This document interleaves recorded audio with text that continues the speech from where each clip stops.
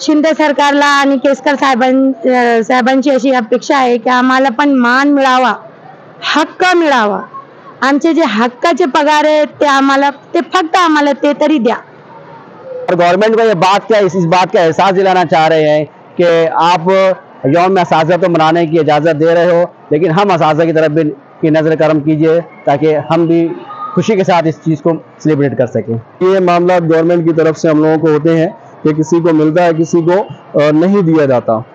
तो हम उस पर क्या कह सकते हैं? भरोसा कितना कर सकते हैं? गवर्नमेंट को सोचना चाहिए। महाराष्ट्र भर के और खुद मालेगांव के तकरीबन 500 टीचर है। नासिक ज़िले के 3000 है और महाराष्ट्र भर के तकरीबन 40000 टीचर ऐसे हैं, जिनके अकाउंट में अभी तक पैसा नहीं गया है। एजुकेशन डिपार्टमेंट ज़िला ज़िला परिषद लेवल पे टीचर्स को हरेसमेंट किया जा रहा है।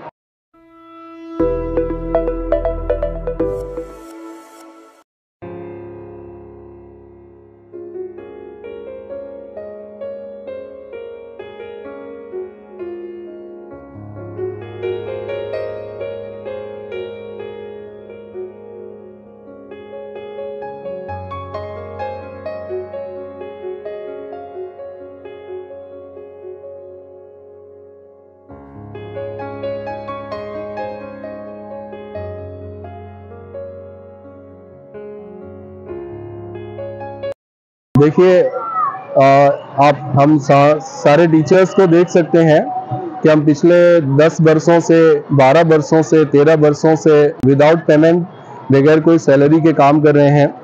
हमने कुछ ऐसे भी हैं जो 20 परसेंट सैलरी वाले हैं। उनमें भी सैलरीज को लेकर के टाल मटोल किया जाता है। बर वक्त पेमेंट नहीं की जाती या कुछ हमारे अरियर्स में पेमेंट डाल दिए जाते हैं। तो इन तमाम चीज़ों को लेकर के हम टीचर्स में एक तरह का एक इरिटेशन एक झंझलाट का मामला रहता है। हम हमेशा उसके शिकार रहते हैं।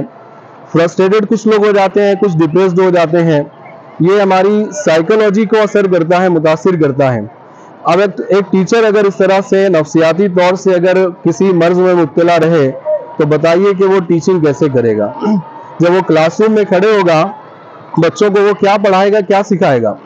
जबकि उसकी नफसियात अगर बराबर ना हो तो हमारी यही है कि सरकार से एक इस्तदा है, उनसे अपील है कि इन मामला को गौर किया जाए और टीचर्स को रिलैक्स किया जाए।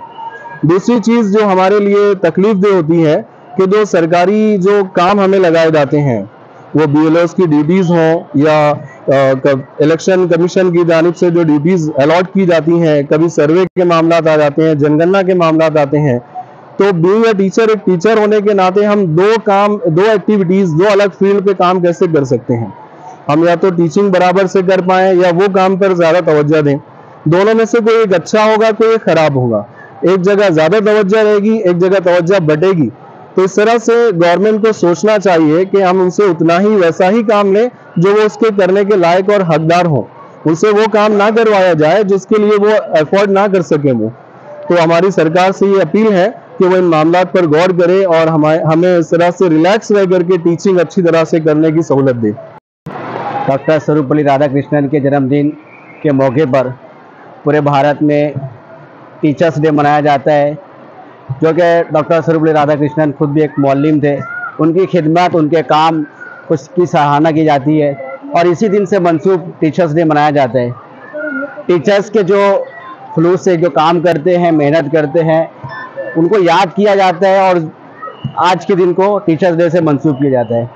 आज के दिन नॉन ग्रांड टीचर की जानब से ब्लैक डे मनाने का एक फैसला लिया गया है। उसकी वजह ये है कि पिछले 10 सालों से कुछ टीचर जो है वो 15 सालों से नॉन ग्रांड पर काम कर रहे हैं।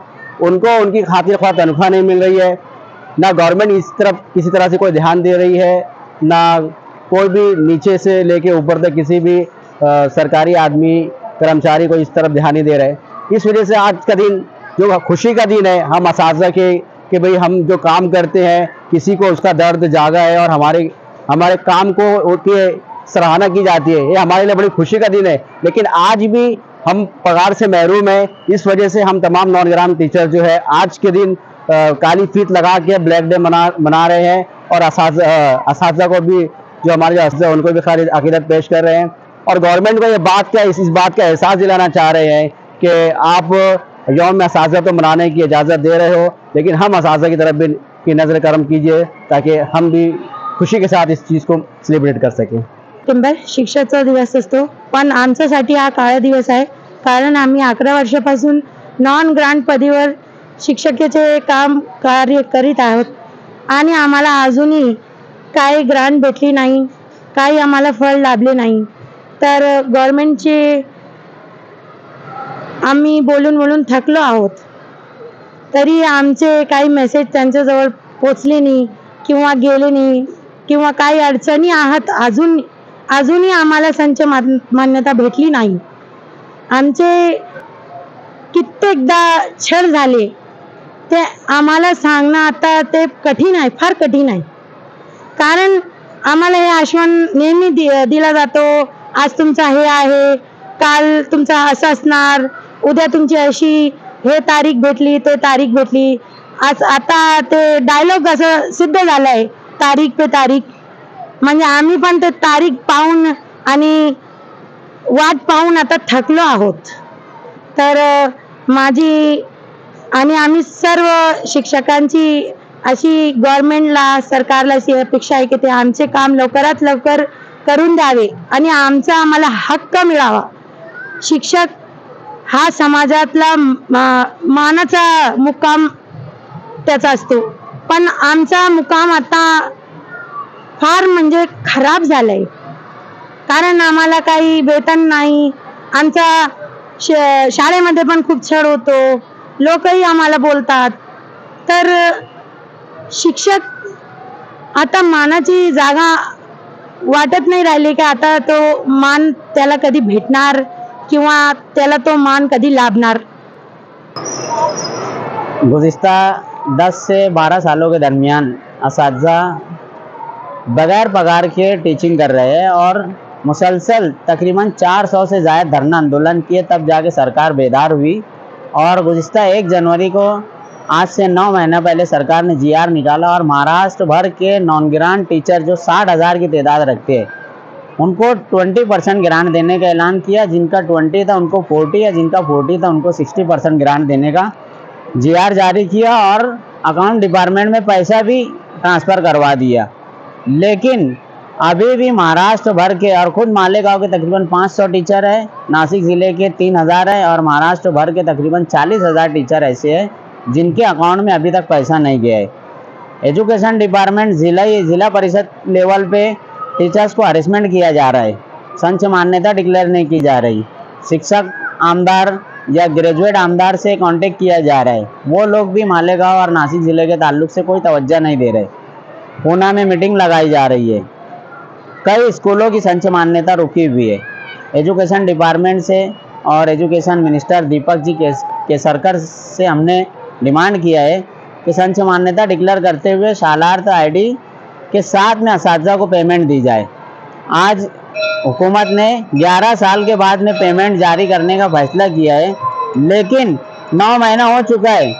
पेमेंट हो रही है सब जगह। नौ महीने से इस ना चाहते हुए भी पेमेंट को हाथ नहीं लगा सकते, क्योंकि उनके अकाउंट में पैसा ही नहीं आ रहा। है तो सरकार से और ज़िला परिषद डिपार्टमेंट से हमारी गुजारिश है कि नासिक ज़िला समेत महाराष्ट्र भर के जितने भी नॉन ग्रांट टीचर हैं, उनकी संच मान्यता को मंजूर किया जाए और सालार्थ आईडी डिक्लेयर किया जाए ताकि उनके अकाउंट में पैसा आए।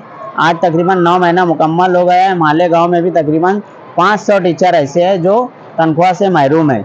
और इसी नाराज़गी को हमने देखते हुए आज ब्लैक डे मनाने का फैसला किया। महाराष्ट्र शिक्षक संगठना आघोषित शिक्षक संघ और नॉन ग्रांट टीचर एसोसिएशन की जानब से हमने मालेगांव शहर में भी यौम इस के मौके पर काली फीत लगाकर ब्लैक डे मनाया और उसको मना रहे और मुस्तबिल में सरकार जब कभी भी सौ फ़ीसद हमको पगार नहीं देंगी या इस के साथ में इस्तेसाल करेंगी नाइंसाफ़ी करती रहेंगी, हम सरकार से नाराज़गी का इजहार करने के लिए यौम इस पर और दीगर मौके पर एहतजाज करते रहेंगे।